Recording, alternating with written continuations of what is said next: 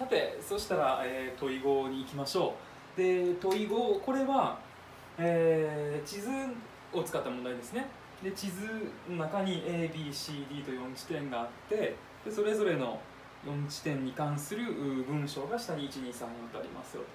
でこれちょっとまずこの問題の作り方1個気ぃつけなあかんかなと思うのはこの ABCD のいずれかの地点の状況について述べたものであるってことはつまりこの下の文章の中にこのなんていうかダミーの文章ね間違いの文章はないっていうことね。わかるかね？つまりだからどれか1個の地点にどれか1個の文章が対応するってことね。どれか1個にどれか1個の文章が対応すると。だから間違いの文章はないんやということをまずちょっと気をつけて。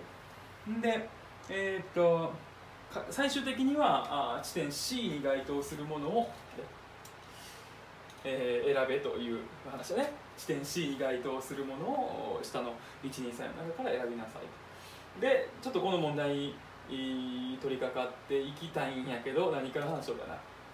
まずちょっとこの地図を解釈するとこから始めようかね。でまず問題文で一番最初に、えー着目すべきはここやね。城下町としての歴史。城下町としての歴史を持つということね。でこれはでもまあ日本のもうほ多くの都市は基本的に城下町由来のところが多いからね。だからまあまあここから見とってほしいのは、まあ、典型的などこかは分からんけどある都市やからね。どこかは分からんけど、えー日本の、まあ、典型的な地方都市の一つやなっていうことぐらいをここから見てほしいかな。ただまあ城下町って一応わざわざ書いてくれてるんやから、まあ、ここが取っかかりになるかなと思ってもちろん城下町なんやから城があるはずやと。それ探していきたいね。そしたらまあそれはすぐ見つかって それはすぐここに見つかって城跡っていうのがここにあるね。でこの問題の場合はあそうそう。そもそもこの地図概略図やね。で同じようなタイプの問題が、えー地形図で出ることも多いんやけど今回は概略図。何が違うかって言ったら、まあ、概略図やから、まあ、必要な読み取るために必要な要素だけがこう抽出されてるピックアップされてる地図やから地形図ごちゃっとした地形図を読み取るに比べたら、まあ、問題の難易度としては簡単になるんかな概略図の方がな。で、えーここに城跡って書いてあってただこれは地形図の場合には地図記号ねこれも覚えとったらいいと思うよ。この城跡の地図記号ね。これで書かれてることもあるから知っといてください。でだからここを基準にちょっと考えていくとここに城が昔あったわけよね。いいでちょっと青ペン用意するなりしてここねちょっと色のグレーに色がついたここが水域であると。でよう見ていくと、まあ、もちろんこっちにもこう水域がこうあるんやけども後からこれは琵琶湖やっていうことが分からないけどね。まあとりあえずこの時点では分からんある都市やからね。でこの城跡の周りにもう水域がこうあるね。これはもちろん何のことよ。二重に張り巡らされてる。これは分かるね。これお堀のことやね。お堀。で要するにこの城を防御してるわけね。だから江戸時代ああもちろんそれは分かるわね。城が機能していたのはここに大名というかお殿様が実際におってで行政の中心としてうん 行政の中心がここやったわけやね。でその周りにこれは書いてないけどもおそらくこの堀に囲まれたこの城多い領域ねこういうところに武士が住んでたはずなんよ武家屋敷があって。でこの B 地点こここうしたよう見ていくとあまずこのちょっと書いたらややこしいから書かへんけど江戸時代の城下町の区域これが破線で書いてあって要するにこの範囲ねつまりここら辺の範囲が城下町でしたよと。江戸時代には栄えてましたよってことが示されていてでさらに江戸時代の町人地がつぶつぶで示されてますよと。ようよう手元ちょっと見てみて。前では見にくいかもしれんけどこれね。ここの B のところら辺のここら辺つぶつぶがついてるね。ここら辺が町人が住んでた町ですよってことが書いてあると、まあ、つまりだから ABCD の4地点の中で一番古い江戸時代から発達していた地域はあ B やなってことがまあ分かりますよね。ってことね。でそうかちょっと先に問題解きながらいこうかな。これを解釈しながら問題解きながらいきましょう。そしたら一旦下の文章を見て、えー B から決めていこうかなと思った時にまず真っ先にもキーワードが見つかるね。2番の文章の中に江戸時代から続くっていうこれがもう確実にキーワードよね。っていうことからちょっと後半の部分の話はもう少し後からするからとりあえず答えをまず決めていこうかね、え2番が B に当たりますよということがまず分かりますよね。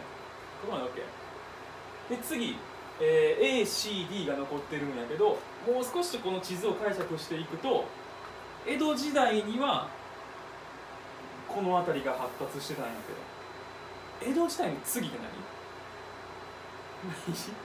もちろん、えー江戸幕府が倒れて次明治維新で明治時代やね。で何を読み取ってほしいかというとこの地図の中に次に着目すべきはここに鉄道が走ってるね。で日本で鉄道が初めて走ったのはいつよ。逆に言うたら江戸時代に鉄道はあったかないか。さあどう？ないね。日本で初めて鉄道走ったのはちょっと答えて中学校の歴史的分野の話や。どこの間？新橋と横浜間やね。で何年やった？1870何年で忘れた。明治5年とかやったよな。明治時代の一番最初や。でそこから明治大正昭和時代にも日本中に鉄道網が張り巡らされていったわけね。つまりだから江戸時代にここら辺が栄えてた時にはもちろんこの鉄道はないんよ。で江戸時代が終わって明治時代になってからここに鉄道が走って明治大正昭和初期にかけてね。でそこここに駅ができてで駅前の地域ここが発達したわけやね。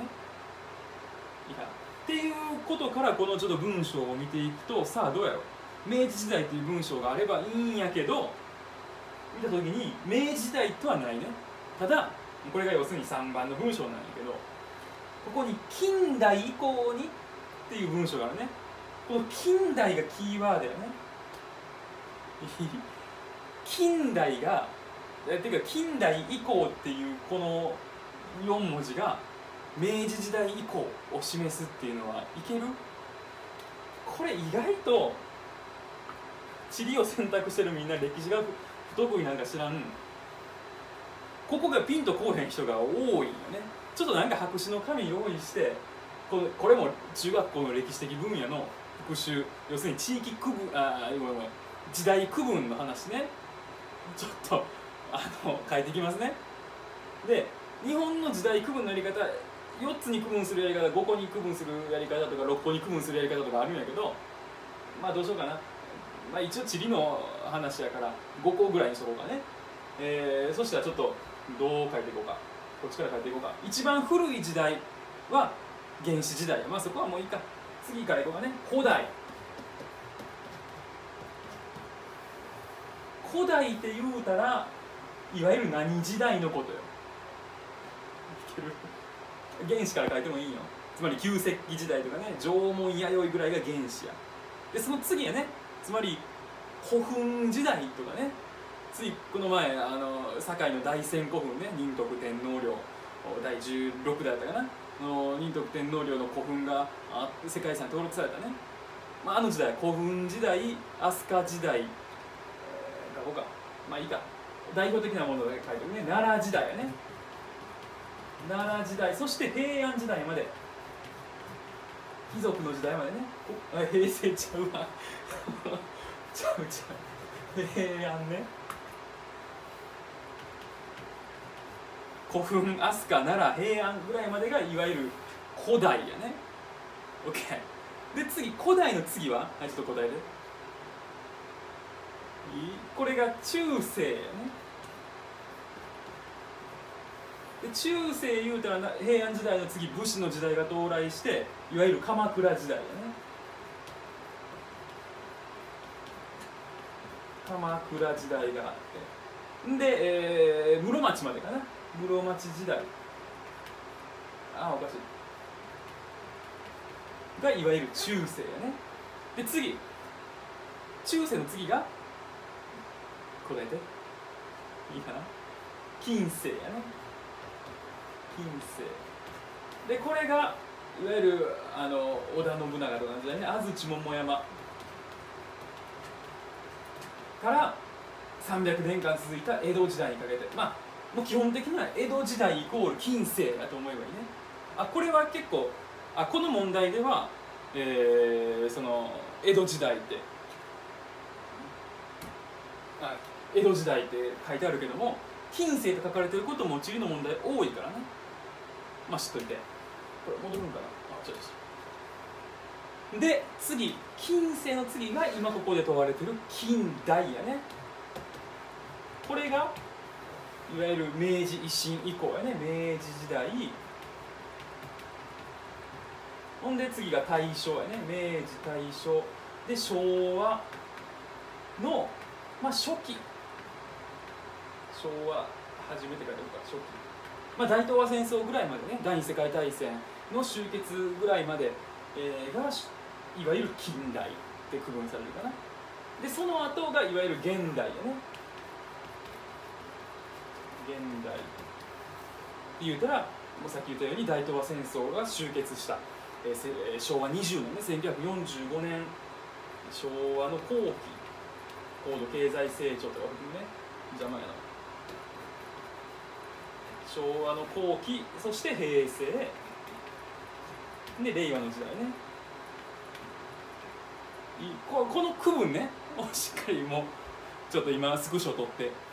あの覚えとき。いや書いてないけど繰り返し言うけど古代の前に、えー、6区分にするとしたら原始時代っていうのがあるんよ。縄文とか弥生とかねもっと前の旧石器時代いわゆるナウマン像とかですねあの惰性石器とかの時代やね。まあそれはいいやろ。OK はい。じゃあ一応戻りますね。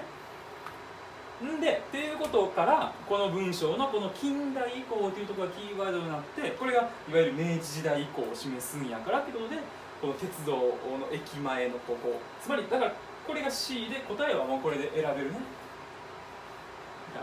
でもまあ一応 A と D が残ってて1番4番が残ってます。これも見ていくとちょっと詳しい話はもう少し後からするとしてやっぱしこれも年代がここに書かれていて1番の文章にはもう明確に1970年代以降昭和のこれはもちろん戦争が終わって以降はね大、えー、何や高度経済成長期の真っ只中よ。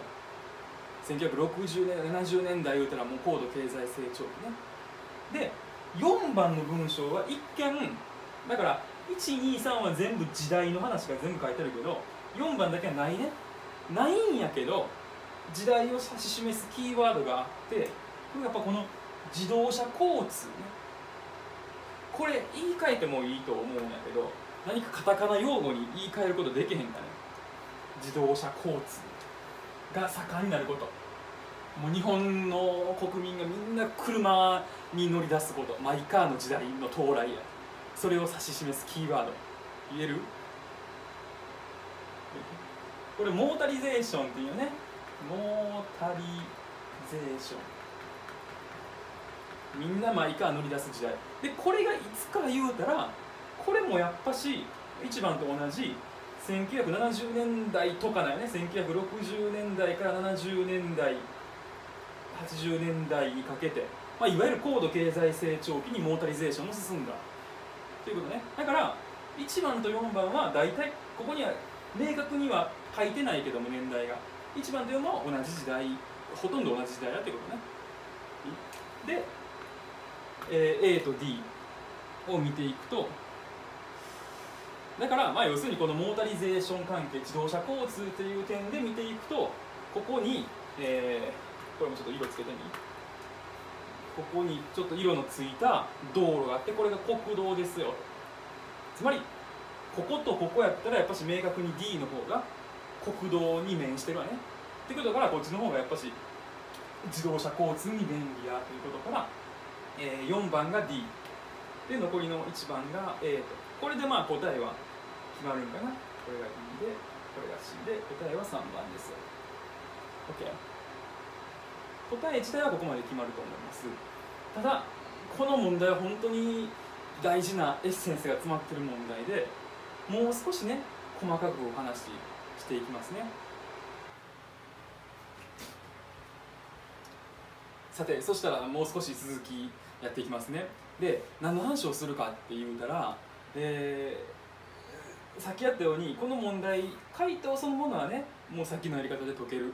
この時代区分さえ知っとけばあ解けるって話なんやけど、うん、この問題はねこの ABCD の4地点が文章で示されてるっていうパターンやけど他の都市の同じような問題をこう見ていくと写真でねそこのここに降り立った時のその写真の風景これがカラーやったらええんやけどまたセンター試験グレースケールやからね白黒印刷やからまた分かりにくい問題が多いんやけどそれはちょっとしゃあないところや。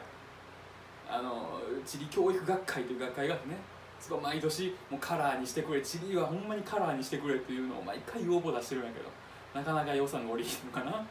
っていうようなまあまあ裏話はいいとしてそういった写真で出てくることも多いからね。でなんていうかそのそういう問題が出てくるからっていうのもそうなんやけどそもそも地理いうのはやっぱしそのそれぞれの地点にね降りてみた時に降り立った時にそこにどういうこう風景が広がってるかその景観をねなんていうかイメージ頭の中にイメージして、えー、で問題を解いていくっていうのがやっぱし大事なところなんよね。っていうようなこともあってちょっと今から実際にちょっとここにえー、Google Earth のそのストリートビューの機能を使ってね降りていきたいなと思います。でじゃあまず古い順番にいこうかね、えー、B 地点。ここから降りてきますね。の前にまずこれがどこかって言うたら最初もちょっとだけ言ったけどここ実は琵琶湖なんよね。でこれえー、っと実は彦根市なんよ。滋賀県の。彦にゃんのとこじゃこれ。彦根城ね。でそれはまあこれだけやったら分からんかな。ただこれ あのセンター試験2018年ね、えー、でツイッター界隈でね、えー、地理学関係のフォローをいっぱいしてると絶対誰かが この第3問の問い語に出たのはこれ彦根市やなとか言ってね。すぐ回ってくるから大体すぐ分かんねんけどそれで。で日本地理学会っていうね学会も日本最大の地理の地理学会があってね。そこの公式のツイッターでもそういった関係のもうセンター試験の当日とかもしくはね「ブラタモリ」の放送とかね。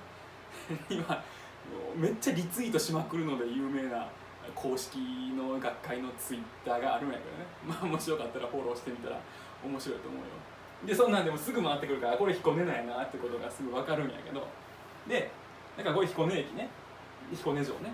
でその彦根城のところら辺をちょっと降りていってみましょうと。でこれ Google Earth これもいわゆる GIS という機能を使ってね、えー、Google Earth Pro っていうソフトウェアに今地理院地図っていうて国土地理院が作ってる、えー、いわゆる地形図の新しい版ね。今紙の地形図っていうのも廃止されてしもて今はもう全部デジタル上でもしそこに新しい道路が建設されたとかね、えー、火山の噴火で山の形変わったとかの時はもう全部デジタル上で更新されていくようになってんやけどその地理院地図を重ね合わせてます。これがまあいわゆる GIS の機能やね。でそれでこの滋賀県の琵琶湖の、えー、東側彦根の辺りを拡大していくと分かるかな地図で。ちょっとこのえー、分かるかな。この範囲ね。ここに JR があって彦根駅があって彦根城があって琵琶湖があるっていうこの感じをね、えー、地理院地図で示すとこんな感じ。分かるかな？分かるかね言うて、えー、ここに彦根駅があります。彦根駅があって彦根あの彦根城があってほんでこっちに、えー、琵琶湖がありますよと。で最初にも書いたようにここにお堀がね22個ありますよっていうような話よね。でもう一応あらかじめここに ABCD の4地点を言ってあるんやけど見えるかな？ここに A 地点ね。で B 地点 C 地点 D 地点。ちょっと分かりやすいようにちょっとずらしてるんやけどまあまあいいか。ABCD の4地点。でまずちょっと B のね江戸時代の街並みのところから降りていきましょう。そしたら彦根城の、えー、天守がここにあってね。ほんでえー、何やここら辺見ていこうか。ここら辺の要するに昔江戸時代には町人街やった。町人地やったとこら辺を見ていくと確かにお寺とかが多いね。こんなん城下町のもう典型的なあ町並みやね。城あお寺が多くてでさらに、えー、道路の道幅がかなり狭いよね。でもう一個降りていく前によう見ると例えばこことかこことかわかる？こことかねこことか。これ鍵字型なんての？分かる？街路がね。でこれあえてそうしてるわけね。もう現代にまで江戸時代のその道路の街路の形態が残っていてこういうのを東美遮断っていうよね。見えるかな？と見にくいかもしれない東美、えー、遮断。が見えね要するに遠くが見えるのをそのままね遠くが見えるのを遮断する。あえて鍵字型にすることによってこっから向こうが見渡せんようになってるわけよね。ここもね。ここっから向こうがこう見渡せんようになってる。これ要するに城を守るためやね。遠くが見渡しがいいとね攻めやすいわね。あえて鍵字型にすることによって攻めにくくしてるっていうような江戸時代の街路の形態が今現在もそのまま残ってますよ。でこのあたり昔の江戸時代の町人街のあたりにちょっと降りていってみるとどうかな。わかる？要するに例えばまず見てほしいのは道幅やね。道幅やっぱしかなり狭いね。これこそやっぱし昔江戸時代の交通手段は基本的に徒歩やったからね。車は想定してないわけやから。道幅はかなり狭い。ほんでこの両側見ていくと例えばこんなんもかなり古いね、えー、江戸時代の建物がそこも残ってるという感じかな。でここなんかも見ていったらよく見ていったら本町宿とかね、まあ、要するに観光業に今現在は使われてるわけね、えー、そんなんがこっち側もこんなとこも昔から残ってるお寺やね。っていうようなあ江戸時代の街並みが残っていてそれがこうねここの問題でもこの文章になってるね。江戸時代から続く商業中心地がもう城の機能が失われて以降はね衰退したと。だけどそれが再開発されてで、えー、城下町の雰囲気を醸し出す景観の整備が行われてこれが今観光業。でそそこにヒコニャンとかも絡んでくるわけね。ゆるキャラを作り出してヒコニャンや言うて観光客を呼び寄せる。そういった、えー、街並み整備が行われてるってことだね、OK、だから今見せたようなここに実際に降りたらあこういう江戸時代から続くような、えー、街並み。で狭い街路こういう街並みやなんやなっていうのを頭の中でイメージしながらねちょっと知識を定着させていってください、OK、はいこれが B 地点の話ね。でちょっと戻って次が、えー、C 地点いこうか。近代以降明治以降に敷設された鉄道の地方のまあ駅前やね。でそこがどうなってるか。ちょっと待ってよ。もう一回一旦北を上にして戻って。えー、C 地点ここやね。彦根駅があってわかるかな？彦根駅があってこっちにお城お堀があってね。でちょうどここの駅前通りのここら辺にちょっと降りていきますね。そうするとよいしょ。さあどうかね。そしたらこんな感じの風景わかるかなんとなくこの奥に彦根駅があって駅前通りでなんなんていうかまあ商業施設よね、えー、があって。でなんとなくこの、えー、アーケードではないけどもこの駅前の商店街ってな感じやね。で銀行があって滋賀銀行があってまあ塾があってとかね。カラオケ屋さんとか居酒屋とかがあってまあまあ悪く言うてるわけじゃないけどもちょっと寂れてる感じやわね、えー、地方のもう駅前通りのもう日本中至る所で見られるような風景だね。でそれがここではこういう文章で示されていて、えー、どれや。これね近代以降明治以降に発展した地区ですよでこれはね商業施設今見たように駅前のちょちょっと大きめのデパートであったりとか、えー居酒屋があったりとかね銀行があったりとか。あここはね滋賀銀行があってね。が立ち並ぶ一方でやっぱしなんとなく彦根のことをね悪く言うてるわけじゃないけどちょっとやっぱし地方都市よね、えーその東京とか大阪の梅田とか難波とかあの繁華街に比べるとやっぱし閑散としていて人通りも少ないねこう歩いてる人少ないね。今大阪の難波とか行ったらもう中国人韓国人のてんこ盛りやねインバウンドが入ってきて。た彦根駅前はって言うたらちょっと寂れてる感じやね。シャッター通りまでは行ってないにしてもいくつかこうよく見ていくとシャッターが降りてるような閉店してる、えー店もあるんかな。あちょうどここ俺見てみこのあバスバス。あら変なとこ行ってもた。ちょっと待ってよあどっか行った。ここにバスおったのに。ちょっと待ってよ。あほれほれほれこのコミュニティバスみたいなちっちゃいですね。これ見たらおい彦根やん。おるやんけ。彦根やんね。彦根城まあこんなんで要するに観光客を呼び寄せてはいるよね。でもやっぱちょっと駅前はあ少し寂れてる感じ昭和の風情がちょっと残ってるっていうような感じやね。OK で、えー A と D の方に行くとちょっと待ってよ。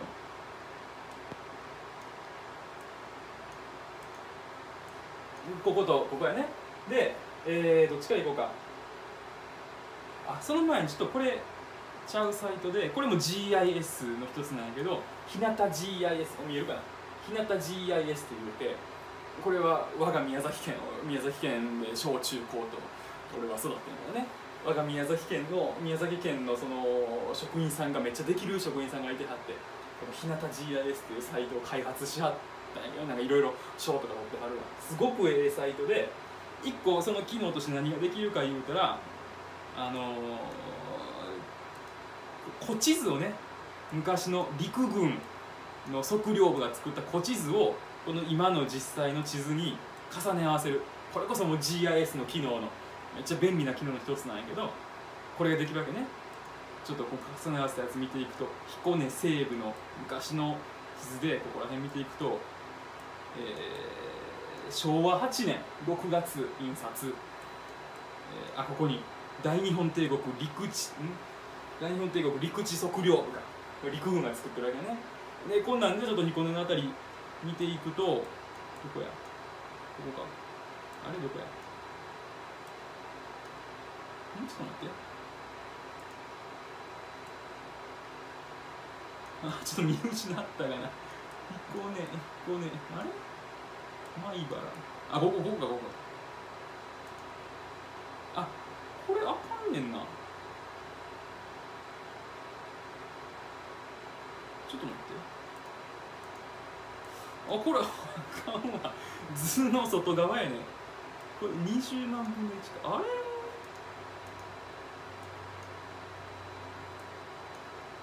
れ？いやんやらしいな。ちょっと待って。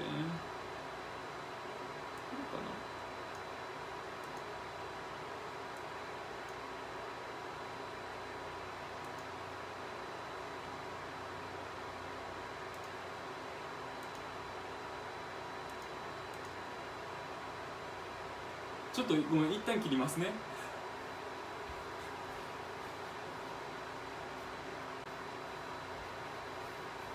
ごめんなさいいけました。えー、っと、えーこれね今示されてるのが彦根駅がここにあって彦根城があって琵琶湖があってこの地理地図だね。今現在の様子です。でそれにこの古地図を重ね合わせる GIS の機能を使ってね古地図を重ね合わせると分かるかな？ここに右から「彦根」って書いてあって駅があってだからすでに昭和6年やったっけ8年やったっけ？昭和初期やからもうすでにここに、えー東海道本線ねこれが走ってるね。ほんでここに彦根城のマークがあってね。ほんで今見たいのはこの A と D のところね。わかるかな？要するにえーこれで言うたらちょうど D がここら辺やね。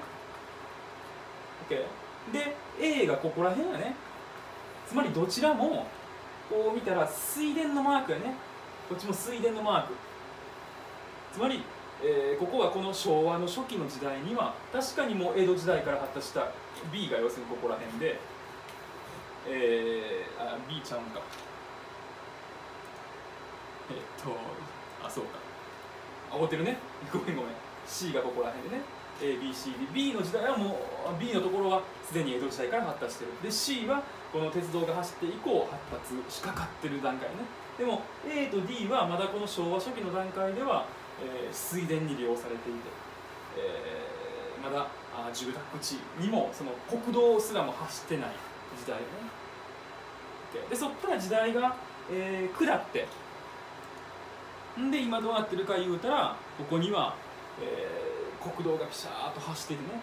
でここの風景はどうなっているか。まず D の方に降りていきますね。これのここら辺にね降りていきますそしたらさあ降りて。こういう風景ねわかるかな？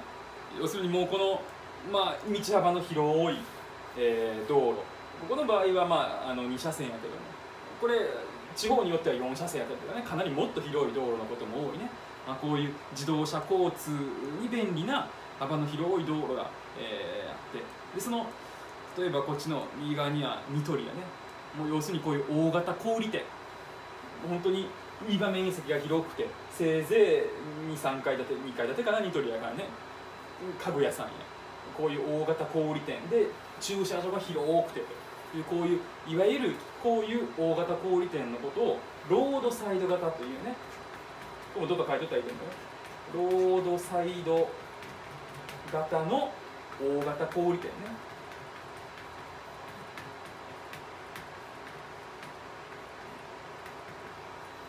こんなんがあニトリに限らずだけどね。イオンとかいろいろあるわね。ベスト電機とか上信とかね。まあそういったあものが立ち並ぶような、えーそういう景観が見られます。これが要するにこの D のあたりだね。で A のところこれはどうか言うたら先ほど見たように日向 GIS で見たように昔昭和の初期には水田やったんやけどそれがここに国道が敷設された時代と同じようなねいわゆる高度経済成長期にこれそもそも滋賀やからね大阪に通うような、えー通勤するような人たちが流入してきてねで、えー住宅地の開発が滋賀は今でも人口増えてるんやけどね。もうやっぱ高度経済成長期なんかにやっぱここら辺に住宅地がどんどん増えていったよね。でその結果どうなってるか言うたらよいしょ待ってよ。一旦北が上に戻してえー、ここね ABCD の A の地点ここら辺に降りていってみるとわかるかな？もうこの地理院地図の上から見ても、まあ、かなり整然とした道路とね格子状の整然とした道路に家屋が一個一個こう立ち並んでる様子がわかるかな、まあ、こういうのがいわゆるまあ新興住宅地や。ここら辺に置いてみようか。わかるかな、まあ、なんてことない住宅地やけどもね。えー、こっちの方とか行った方がいいかな。まあ、あんまり人の家をチロチロ見るのはあれやけど、まあ、新しめの一戸建ての住宅地が立ち並んでる様子が見えるかな、まあ、いわゆる閑静な住宅街というような形になってるね。